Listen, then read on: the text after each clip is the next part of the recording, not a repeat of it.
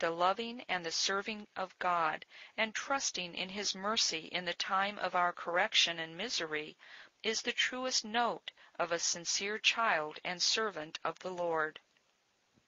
Number 6. Sanctified affliction is a singular help to further our true conversion, and to drive us home by repentance to our heavenly Father. In their affliction, says the Lord, they will seek me diligently. Egypt's burdens made Israel cry unto God. David's troubles made him pray. Hezekiah's sickness made him weep, and misery drove the prodigal child to return and plead for his father's grace and mercy. Yes, we read of many in the Gospel that by sicknesses and afflictions were driven to come unto Christ, who, if they had had health and prosperity as others, would have, like others, neglected or despised their Saviour, and never have sought unto him for his saving health and grace. For, as the ark of Noah, the higher it was tossed with the flood, the nearer it mounted towards heaven. So the sanctified soul, the more it is exercised with affliction, the nearer it is lifted towards God.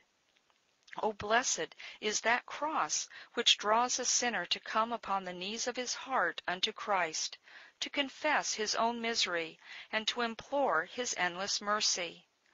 O blessed, ever blessed be that Christ that never refuses the sinner that comes unto him, though weather driven by affliction and misery. Number seven, affliction works in us pity and compassion toward our fellow brethren that are in distress and misery, whereby we learn to have a fellow feeling of their calamities, and to condole their estate as if we suffered with them. And for this cause Christ himself would suffer, and be tempted in all things like unto us, sin being the exception, that he might be a merciful high priest, touched with the feeling of our infirmities for none can so heartily bemoan the misery of another as he who first himself suffered the same affliction. Number 8. God uses our sicknesses and afflictions as means and examples, both to manifest to others the faith and virtues which he has bestowed upon us, as also to strengthen those who have not received so great a measure of faith as we for there can be no greater encouragement to a weak Christian than to behold a true Christian in the extreme sickness of his body, being supported with greater patience and consolation in his soul; and the comfortable and blessed departure of such a man will arm him against the fear of death, and assure him that the hope of the godly is a far more precious thing than that flesh and blood can understand, or mortal eye behold, in this valley of misery. And were it not that we did see many of those whom we know to be the undoubted children of God to have endured such afflictions and calamities before us, the greatness of the miseries and crosses which ofttimes we endure would make us doubt whether we are the children of God or not. And to this purpose James says, God made Job and the prophets an example in suffering adversity. Number 9. By afflictions God makes us conformable to the image of Christ his Son, who, being the captain of our salvation, was made perfect through sufferings and therefore he first bore the cross in shame before he was crowned with glory, did first take gall before he did eat of the honeycomb, and was derided king of the Jews by the soldiers in the high priest's hall before he was saluted king of glory by the angels in his Father's court. And the more lively our heavenly Father shall perceive the image of his natural Son to appear in us, the better he will love us and when we have for a time borne his likeness in his sufferings, and fought and overcome, we shall be crowned by Christ, and with Christ sit on his throne, and from Christ receive the precious white stone and morning star that shall make us shine like Christ forever in his glory. Number 10. And lastly, that the godly man may be humbled in respect of their own state and misery, and God glorified by delivering them out of their troubles and afflictions when they call upon him for his help and support.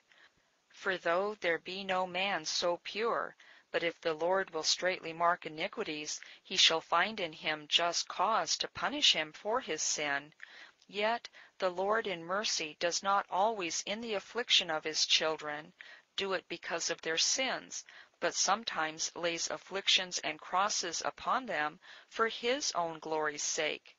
Thus our Savior Christ told his disciples that the man was not born blind for his own or his parents' sin, but that the work of God should be showed on him. So he told them likewise that Lazarus' sickness was not unto death, but for the glory of God.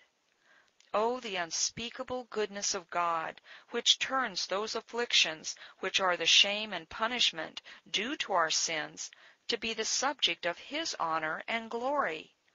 These are the blessed and profitable ends for which God sends sickness and affliction upon His children,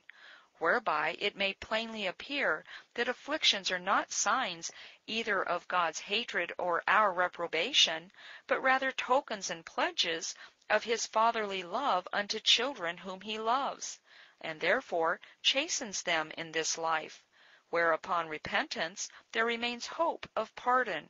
rather than to refer the punishment to that life where there is no hope of pardon, nor end of punishment. For this cause the Christians in the primitive church were accustomed to give God great thanks for afflicting them in this life. So the apostles rejoiced that they were counted worthy to suffer for Christ's name, and the Christian Hebrews suffered with joy the confiscation of their goods, knowing that they had in heaven a better and an enduring substance. And in respect of those holy ends, the apostle says that though no affliction for the present seems joyous, but grievous, yet afterwards it brings the quiet fruit of righteousness to them who are exercised thereby. Pray, therefore, heartily, that as God has sent you this sickness, so it would please him to come himself unto you with your sickness, by teaching you to make those sanctified uses of it for which he has inflicted the sickness upon you.